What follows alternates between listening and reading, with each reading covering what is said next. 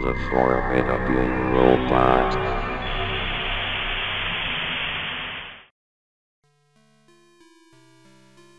There aren't a lot of advantages to being the sole teaching assistant in a small computer science department, except that once in a while the professors are nice enough to unload a bunch of old tech on you for free. Maybe they're cleaning out their offices for the first time in decades, and have a few Macintosh classics that would otherwise end up in a dumpster. Sometimes the department gives them new tablets, and their old ones need a new home or else someone retires, and everything not absconded with for nostalgia's sake becomes fair game for scavenging. Courtesy of the faculty's generosity, I have a bunch of old computers, disk drives, motherboards, and virtually any other computer parts or accessories you can imagine, kicking around my apartment. Tinkering with dated machines can be a great deal of fun. You can practice soldering without having to worry about flushing a bunch of money down the drain if you accidentally brick your machine. When you pull them apart, you might find so called upgrades from years past that seem genuinely laughable now, like the 32 kilobytes deluxe memory expansion card I once yanked from a 1995 laptop. And let's not forget the charm of obsolete archival media. Remember the zip disk? No? Figures. Well, even if you're not a tech geek like me, you can at least appreciate the best part of my perks system discovering ancient computer games that nobody else remembers, and actually having the wherewithal to play them. Cleaning out offices or browsing through forgotten hard drives, I've stumbled upon games that I've never seen archived anywhere on the internet. Some of them even existed before my parents did. And I've been able to play every last one. You can't pretend to know gaming until you've played something on a legitimately floppy disk. Anyway, since I'm given first dibs on any abandoned tech, the department let me raid the office of some adjunct, whose name I never quite learned, not having interacted with him all that much, who must have followed through at last with his vows to quit his overworked and underpaid position. I didn't blame him, I heard he made less than I did, and I don't hold a degree nearly as advanced as his. Whatever the reason, Sussman, or was it Hossman? I can't remember, didn't return for the spring semester, and didn't leave us any way of reaching him.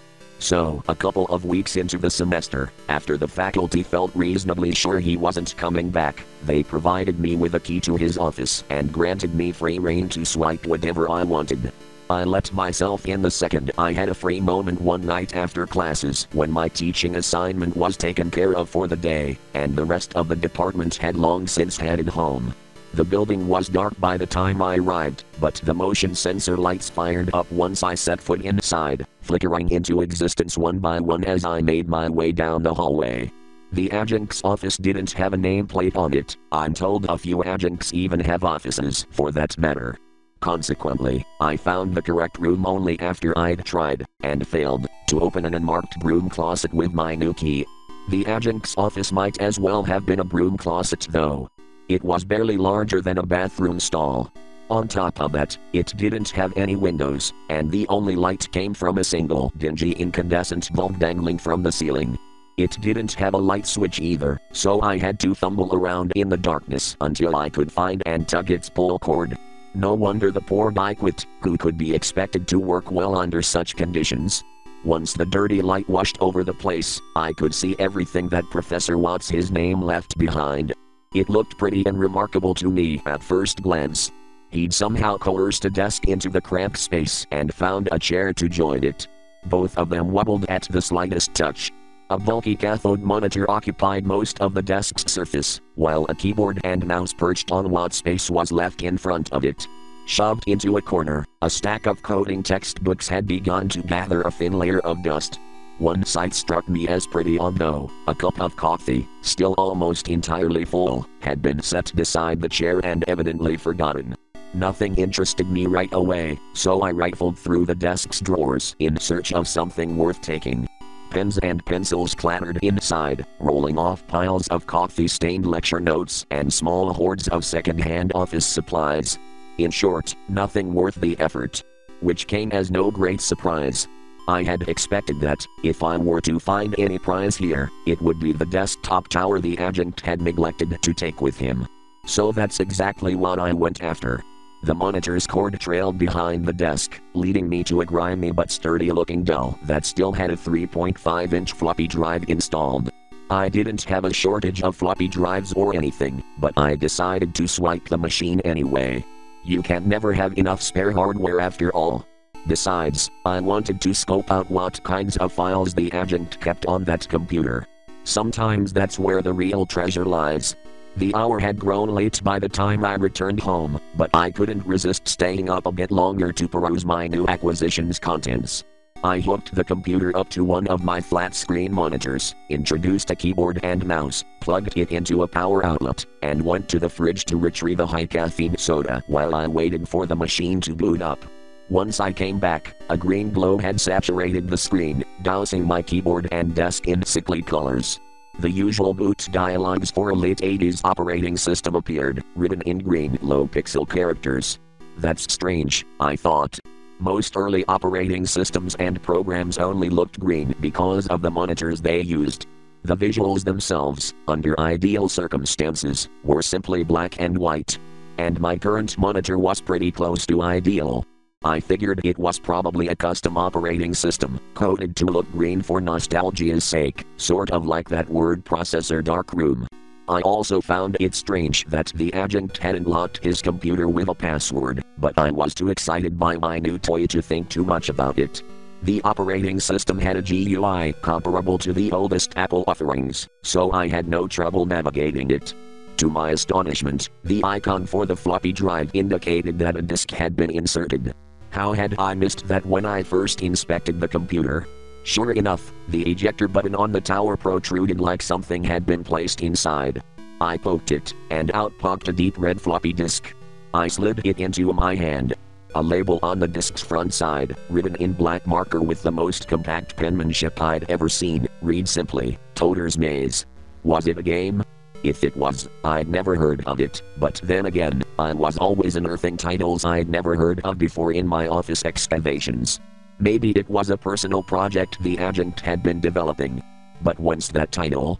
Programmers name things after themselves all the time, but this one seemed foreign to me. I couldn't have told you the adjunct's name, but I felt confident it wasn't Toter. By that point, my curiosity couldn't be restrained. I slid the disk into its drive and ran the single executable file it contained. The mouse cursor turned into an hourglass as the computer processed my command. Then, for no more than a millisecond, it transformed into a completely different shape. I could have sworn it looked like a terribly distended face, but I didn't catch a close enough glimpse, because shortly thereafter the screen went black. A second or two later, blocky green text, cleverly arranged ASCII style to look as if it were dripping or melting, filled the screen. Toter's Maze appeared in gigantic font, with a single red dot punctuating the center of the O, resembling a pupil caught in a camera flash. Beneath the title, a substantially smaller font presented me a binary command. Begin. Y slash N. Messing with the arrow keys, I found I could move the red dot around, but that it couldn't maneuver beyond the letter that ringed it. I appreciated this simple diversion that the programmer had thought to include, it showed some consideration for the player. Wondering what the rest of the game entailed, I hit the Y key. The screen again went black, save for the O with the red dot. Small green letters began to appear one after the other with seconds long intervals between them as if they simulated someone making a tentative remark. Eventually, they finished spelling their message. Are you sure? Y slash N. What a bizarre feature, I thought. Usually, you saved something like that for quick functions, so that a user doesn't accidentally lose all their progress from a botched keystroke. The unexpected dialogue only made me more curious. I pressed Y. At that, the small letters erased themselves one by one, saving my Y for last. Then the large O disappeared. The red dot stayed for a moment before it disappeared too. I was left with another black screen.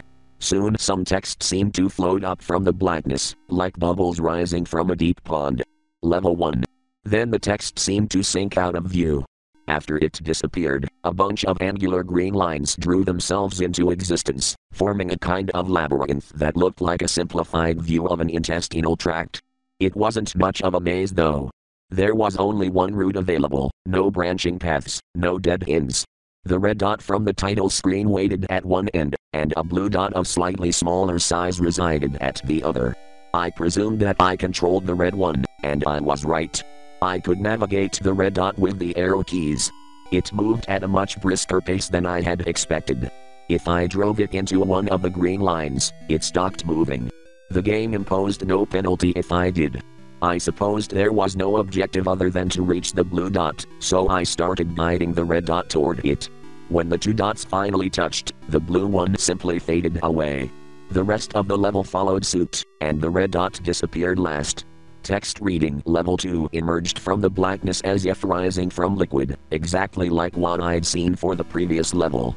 It seemed anticlimactic to me, but then, nobody plays games like this for cutscenes and stories. I figured the difficulty would amp up at least, and perhaps make for a more entertaining experience.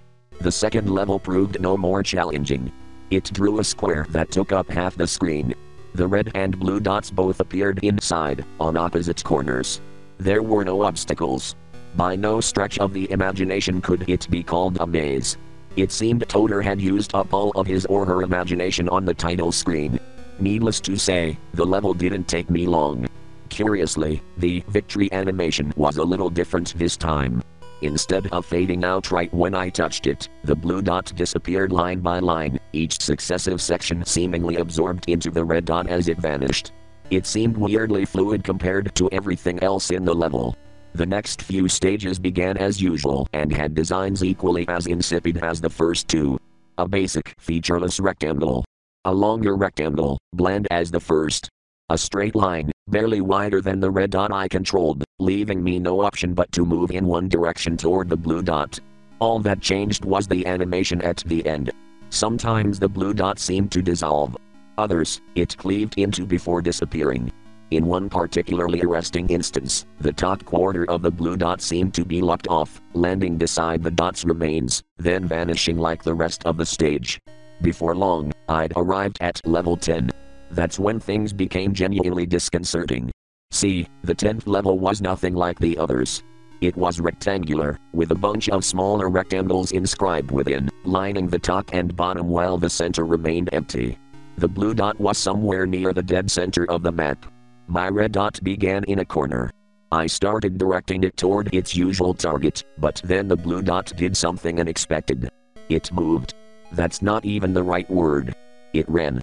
As my dot drew closer, it inched over by a pixel, as if it had heard something and turned to check out the noise. When the red dot was only a few pixels away, the blue dot took off at incredible speed. It curled itself against one of the small rectangles until its wall seemed to yield. Then the blue dot moved inside, cramped by the tight quarters, and the wall reappeared. What the heck had I witnessed? And how was I supposed to clear the level now? My only idea was to try ramming into the small rectangle's side as the blue dot had done. As I did, I swear that the blue dot quivered. Eventually, the wall collapsed, and the dots touched, resulting in the blue one splitting into many tiny pieces that coated the inner walls of the small rectangle. They didn't fade away like the rest. The red dot disappeared first, and the level and the remnants of the blue dot lingered there for a while, burning the image into my retinas before cutting all at once to blackness. Somehow, I felt as if I'd done something awful. Then came level 11. This one featured comparatively sophisticated cartography, rectangles within rectangles, and liberal use of walls, although it still didn't look much like a maze. The path to the blue dot was pretty obvious, and most of the space in the level seemed entirely superfluous. As I moved the red dot along, however, something about the stage began to make me feel uncomfortable. Insane though it sounds to say this about a bunch of green wires, it struck me as dimly familiar. I felt as though I had been there before. I blamed the feeling on the late hour, suspecting that a lack of sleep had started to toy with my senses. When I reached the blue dot, its shape didn't change. The color drained from it, top to bottom, until, I don't know why these were the first words to enter my mind, a gray husk remained. I told myself I sounded crazy, but I couldn't reason away the dread I had begun to feel. It weighed upon my chest, constricting my lungs, adding to my panic with each breath. Somewhere in my fight for air, I realized why the 11th level seemed so familiar. It looked uncannily like the floor plan to my stepfather's house. How many levels were left in this bizarre game? Even one was too many. I didn't want to play any longer. I pressed every key on the keyboard, but none of them, nor any combination of them I could think to try, let me exit the program. I tried to force the computer to shut down by holding its power button, but even after two consecutive minutes of pinning it, the screen still showed that hateful game. All the same, I couldn't bring myself to pull the plug on the machine. I somehow believed everything would stay on even if I did yank the tower's plug from its socket, and I doubted I would react well to the sight. As if reading my mind, the level finally began to change. Instead of the entire thing fading to black, however, the red dot grew in size, expanding until the whole screen shone red. If my brains can be said to have a color, that red would be it. It seared my eyes, and when I held them shut to guard against the scorching pain, the imprint of a horribly distended face glowed against my eyelids. Reflexively, my glance darted from it, but the thing reappeared wherever my eyes settled. Unlike most residual images that soften and fade over time, this one seemed to grow more detailed by the second. Its skull was deformed, stretched into an oblong shape like pulled putty. Its jaw seemed detached, one side hanging much lower than the other. Where its eyes should have been, I saw only empty sockets that nonetheless seemed to watch me with malevolence. There was no way for me to avert my gaze from its frightening hollow stare except to open my eyes again. Once I did, the screen had at last turned black. I felt far more afraid of not finishing than finishing. So on I went to level 12. I recognized this level too. It clearly matched the floor plan of the computer science department, which is almost an exact replica of the fire escape diagrams I'd seen posted on the walls there. The level's blue dot ambled about the stage, pausing at certain points while swaying back and forth over them. The red dot lingered in a small room that corresponded to the location of the adjunct's office. It's only a game, I chanted to myself like a mantra. It's only a game. My ritual almost restored my calm until my cell phone buzzed, stridently vibrating atop my desk. I yelped at the sound, I couldn't help it. A text message had arrived. I felt reluctant to pick it up, expecting some correspondence worthy of the ring. But it was only something from my mother. Even so, that puts me on edge. She was far from a night owl, so for her to need to contact me at such a late hour did not bode well. Something's happened to Ron. The message read Ron was my stepfather. I don't know what. Blood everywhere. I don't understand. Have called the police. Too shaken to talk right now. Call me soon. Please. My stomach had knotted so tightly that I nearly vomited. I felt responsible. I almost certainly was responsible. What the hell kind of game was I playing? Who would make a game like this? And why? I couldn't finish the thought before I ended up disgorging my soda onto the floor. I slumped forward, the sting of stomach acid hot in my throat. As I pulled myself upright, I glimpsed the slow, deliberate movements of the blue dot on the screen. Based on its patterns, it probably indicated a member of the custodial staff. The poor fool had no idea what horrible fate awaited. For that matter, neither did I. I could only imagine, but didn't much want to imagine, what the red dot signified. My creative powers couldn't begin to fathom what it would do to its next victim. It was too much. I couldn't knowingly kill somebody. I would never forgive myself for the deaths I had accidentally caused, but I didn't have to allow any more to happen. I was better than that. I would not be an accomplice to murder. I pushed my keyboard aside and stared at the screen with defiance as I pondered what to do next. The game, however, thought farther ahead than I had. Within moments, a timer appeared in the corner of the screen. I barely registered that it showed 30 seconds before it rapidly began counting down. What would happen if the timer hit zero? 20 seconds. Then 15. I felt my resolve crumbling. If the game had proven this horrible when I did what it wanted, what kind of retribution would it visit on me if I went against its will? 10 seconds. 9. 8. I had to make my decision. 7. 6. 5. The decision came quickly, more instinct than conscious choice. I pounded the arrow keys. The red dot flew at an unfathomable speed. The blue dot had no time to react. As soon as the red touched it, it collapsed in a pile, scattering like a handful of dust. The stage turned to water and fell from my eyes. By the time I had dried them, the hateful green font had risen. Final level. Stage 13. How auspicious. At least it couldn't torture me, nor anyone else, after one last death. I felt almost grateful that there would be only one more, and tried to think of his or her demise as a sacrifice to the well being of everybody else. It would almost be a good thing, ending this horror once and for all. I had a moment of panic as it occurred to me that the game might try to pull a fast one on me. What if the final level featured an abundance of blue dots, like a crowded shopping mall on the other side of the world, or something? I couldn't do that. At least, I didn't think I could. The text gradually disappeared. The levels blue and red dots appeared first, one of each, with almost no distance separating them. I began to heave a sigh of relief. Until I saw the map. It was my apartment, rendered in harsh green pixels. I whirled around in my seat. I couldn't see anything in the darkness, for my eyes had adapted to the brightness of my monitor. I thought I detected a faint red glow on the walls around me, even though the only light source in the room was emitting green. I felt my body begin to lock up, starting with my legs. The tension worked its way up my body until it settled in my jaw.